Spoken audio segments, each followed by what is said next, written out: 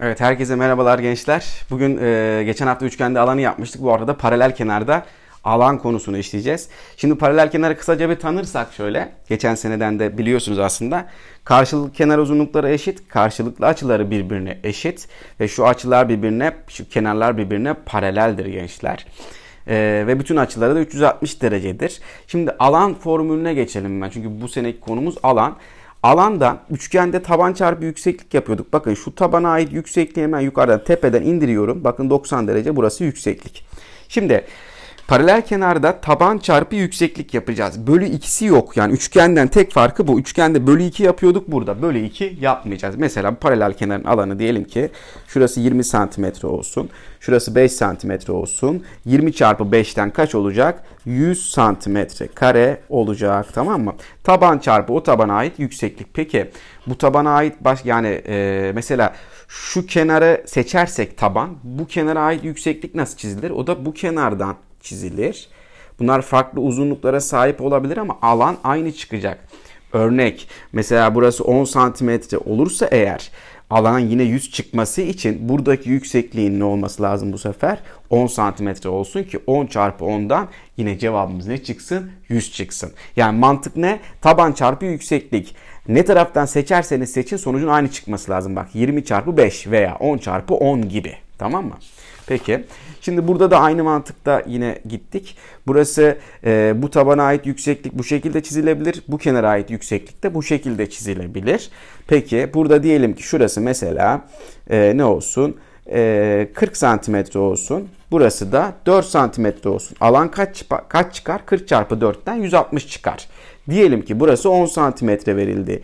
Yine alanın 160 çıkabilmesi için bu sefer burası 10 sa buranın kaç olması lazım?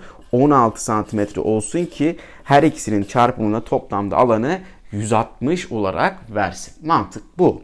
Peki bu mantık üzerinden hemen sorulara bakalım isterseniz. Sorular ayarladım ben size.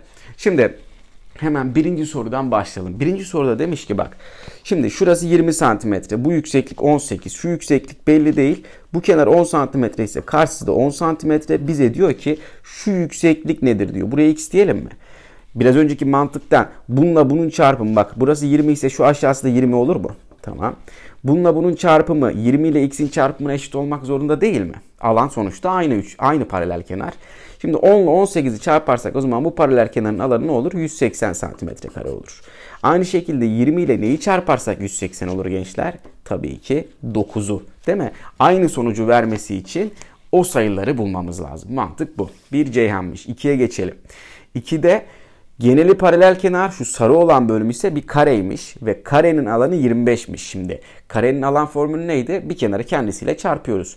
O zaman bu karenin alanı 25 ise bir kenarı nedir? 5 santimetredir. Güzel. Ama her taraf 5'tir değil mi? Burası da 5, burası da 5. Ve karenin bütün açıları 90 derece olduğu için şu karenin şu kenarı aynı zamanda bu paralel kenarın yüksekliği olur.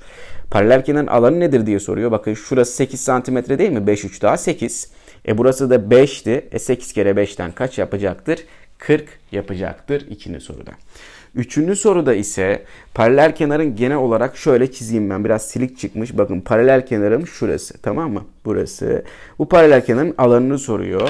Şimdi şurası e, alan ABC'yi soruyor bu arada. Alan ABC dediğim üçgenin alanı soruyor bak. ABC şu üçgenin alanı nedir diyor. Bu üçgenin alanı nasıl bulunur gençler? Bak şurası 16 ise burası 16 değil midir? Şimdi şu yükseklik 13 santimetre. O zaman şu karşıda tepeden inerse yine aynı şekilde 13 santimetre olmaz mı? Bu sefer bir üçgen çıktı ortaya şu üçgenin alanı taban çarpı yükseklik demeyeceğiz. Ne diyeceğiz? Bir de bölü 2 diyeceğiz değil mi?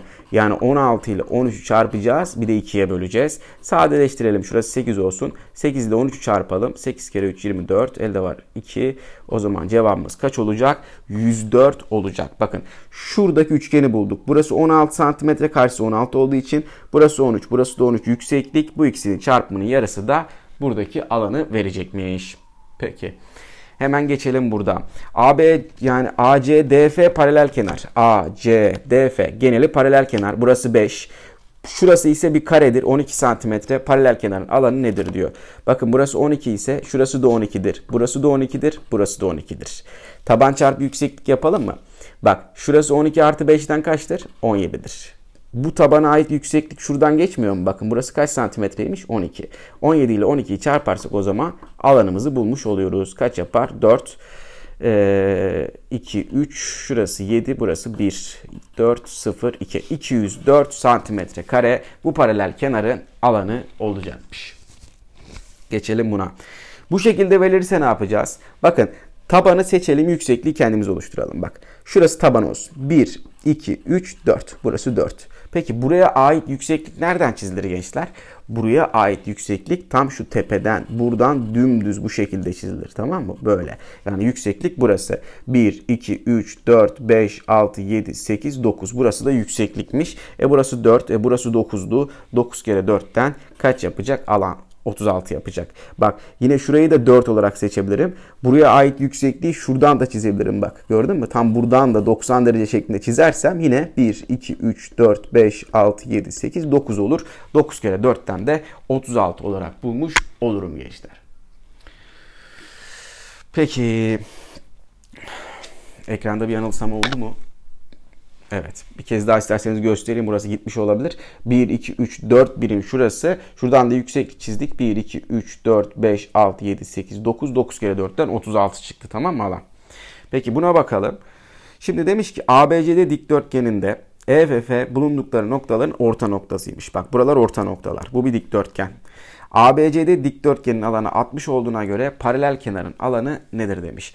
Şimdi şimdi dikdörtgenin alanı 60'mış burada e, orta noktalarsa buradaki paralel kenar, şu paralel kenar bu bir kural sorusu aslında. Bu paralel kenarın alanı bütün dikdörtgenin alanının yarısı olmak zorundadır. Tamam mı gençler? Tam yarısı. Çünkü şu paralel kenar alıp da şöyle aşağıdan kaydırırsanız tam şekil nereye gelir biliyor musunuz? Şu şekilde olur bak.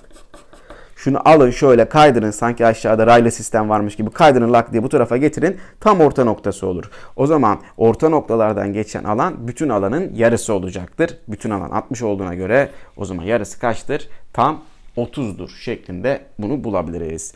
Evet yine devamında e, test kitaplarınızdan paralel kenarla alakalı sorular çözün. Hemen ilk haftada oturacak bir konu değil. Öbür haftada da paralel kenar yapacağım gençler. Şimdilik bu kadar. Görüşmek üzere. Kendinize iyi bakın.